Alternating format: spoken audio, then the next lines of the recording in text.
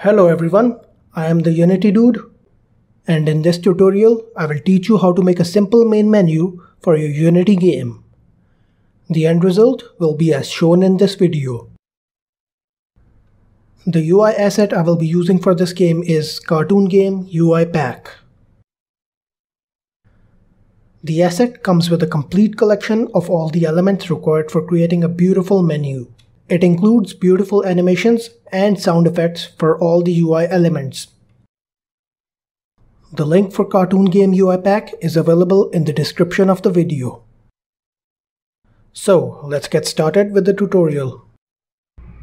I have an empty scene and the first thing we are going to do is create a UI canvas. In the UI canvas, change the scale mode to screen size and set the reference resolution. Inside the canvas, create an empty object for the main menu. Set its anchor to stretch across the whole screen. And now let's add a background image to our menu. Again, set the anchors of the background to stretch across the whole screen. Change the sprite of the background image. Let's add a label at the top for the menu name.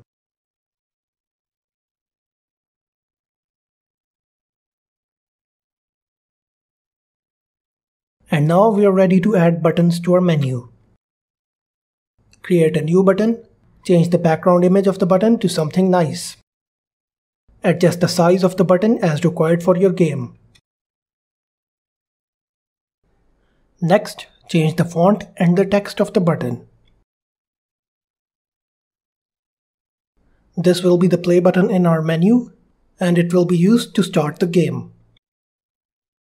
Create two duplicates of this button and position them as required for your menu. At the top, we will have the button to start the game. The button in the middle will open up the options menu. And finally, with the bottom button, we can quit the game. The user interface for our main menu is now ready. Let's get started with the coding part. On the main menu game object, create a new script which I will call main menu manager.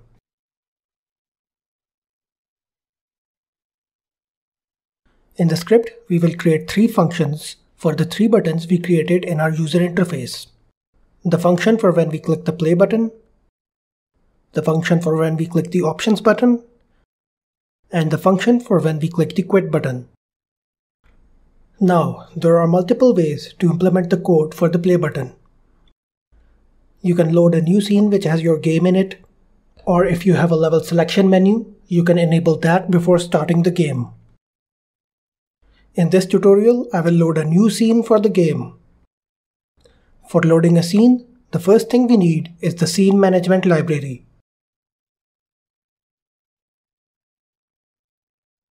And now in the play function, simply call load scene and pass the name of your scene as a parameter. Next, when the user clicks on the options button, we are simply going to enable the options menu game object.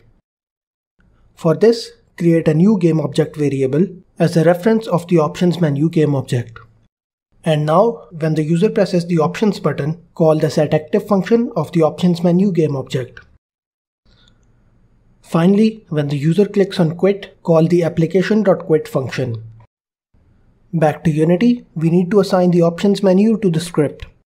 For this, let's quickly create an empty menu with just a background and a close button. Add an image for the background of the options menu.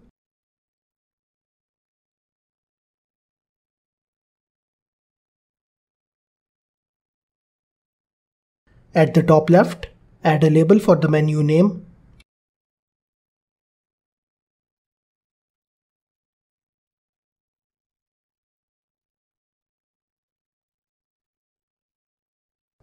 And at the top right, add the close button. And that's it. Just an empty options menu for the tutorial.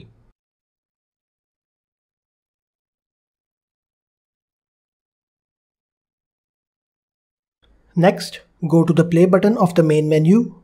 In the inspector tab, at the bottom, find the onClick property. Here, attach the game object with the main menu script. And then select the function which we created for this button. Repeat this process for the other buttons in the menu.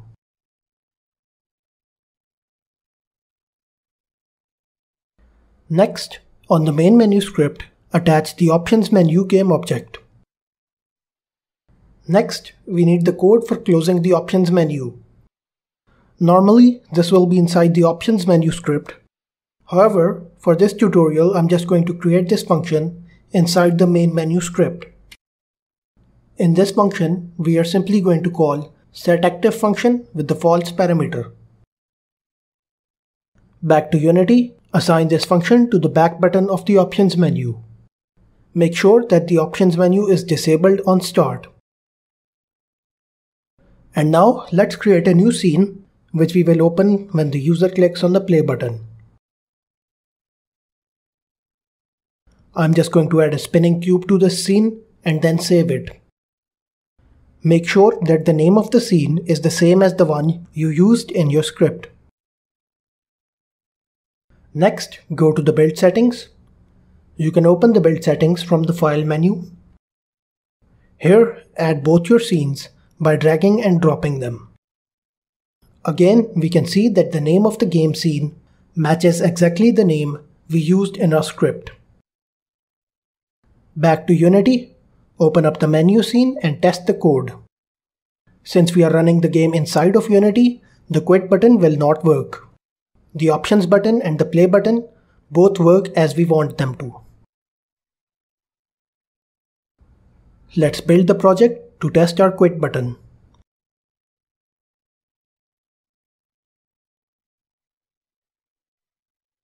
And perfect. All the buttons are working just as we want them to. Our main menu is now ready.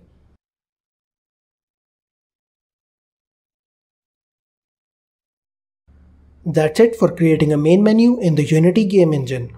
If you found this video helpful, make sure to like and subscribe.